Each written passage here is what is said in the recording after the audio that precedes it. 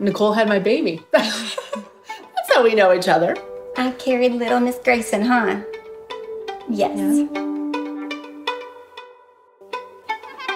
Yeah, because we're lucky that we have this relationship. Uh-huh. I mean, I realize that some surrogate intended parents don't have that, but we were just, we're just super lucky. Yeah. I mean, we're like family now. Yeah. Like, we go on vacations, and the kids are like, oh, when Yeah. are we gonna go see him? Yeah. But you didn't just gain like me as a like No. friend, family. Like, you gain like A whole all of us, like a whole Yeah. family. Addie, uh, my daughter, is in love with Graysen. We FaceTime so that they can see each other. Yeah. And then Graysen gets shy and we laugh. I'm like Aunt Nicole, like I'm Aunt Kiki. It just, I don't know. It kind of goes without saying. Like there isn't Yeah. really like a, oh, that you know what I mean? Like it just goes without saying. Like we're just that close and that's just how it is. I have a storybook that's actually about surrogacy that we read to Graysen.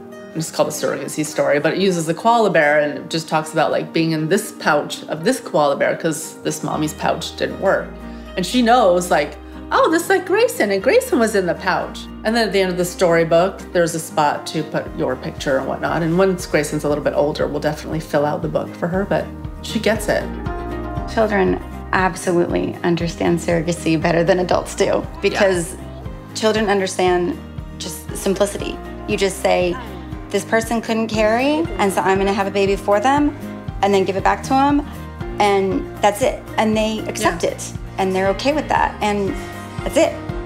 I'm like, you know, it's kind of like baking a cake. I said I had all the ingredients, but my oven broke, so we had to borrow the neighbor's oven. They're like, oh, okay, cool. So you baked a cake with someone else's house.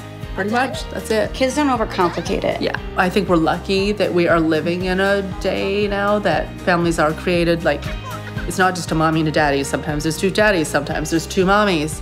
And it's not unusual for kids to learn that now, which I think is a great thing. I'm lucky that we've gone through a whole journey together. Now she'll be in it forever.